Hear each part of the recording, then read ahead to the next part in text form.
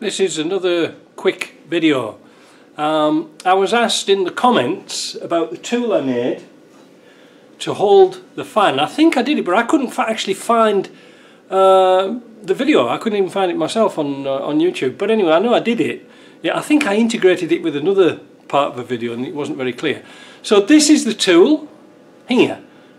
And this will hold your fan pulley whilst you use a 32mm key to get the nut off the pulley.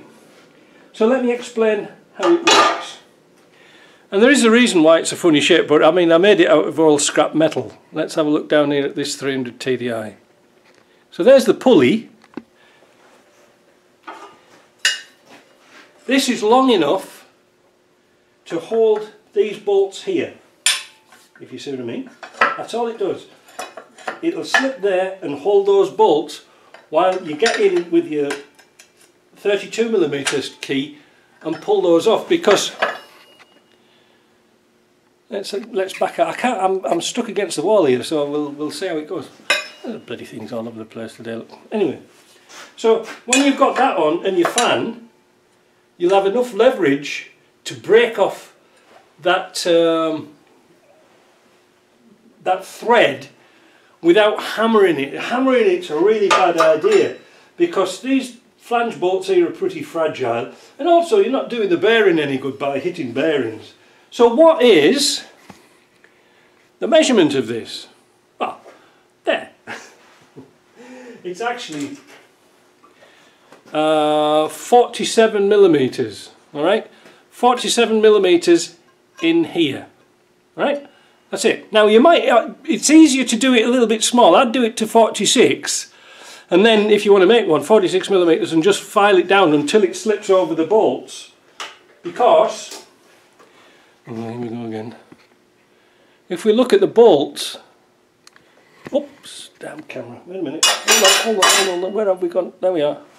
We just have to fasten up the thing. Right so sometimes you don't you can't see if the bolts you know the flats are on the outside or the point of the bolt is on the outside. You see what I mean? So you don't know if the pointy bit of the bolt, the corner, is there. So you've got to play around with it a little bit to make it fit. Do you, does, is that clear? Maybe I should get a bolt and show you. This big bolt so you can see this look. So what I'm trying to say is, it, in a perfect world, that tool would go down the flats of the bolt, but sometimes they're turned out like this, you see what I mean, when they're tightened down. And this pointy bit sticks out, so you just make them just so they're a nice snug fit, if you see what I mean. Now there is a reason why uh, they are this thick. It's, uh, I think it's, let's have a look and see what the thickness of the steel is, because there was a reason why I made it that thick.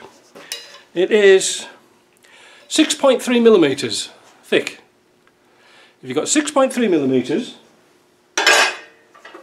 and then you get your 32 millimeter spanner, an old one, just or a cheap one, really cheap off Amazon or somewhere like that, and grind it down till the spanner is, well I've got this at 7.8 millimeters, all right?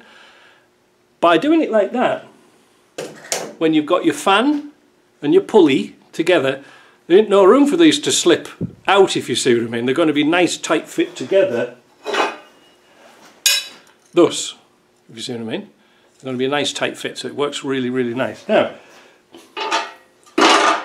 you can have a double-edged sword with this spanner, this 32 millimeter one, because at the other end, if you grind the flat off here, so there's no lead See, there's a nice big lead here, but you never really need it. If you grind it flat so the, the uh, part of the internal is uh, hasn't got the lead on when I can spit it out, sorry it's been a long day. Uh, and then warm it up so this is parallel, because usually the spanners are at an angle like that, aren't they? It's an excellent tool for getting sump plugs out of 300 TDIs, you know, R380s, brilliant, because you've got plenty of leverage and also you can hammer it here and knock the sump plugs out because sometimes they're a bugger to get out. You know the drain bung? There you go, another top tip.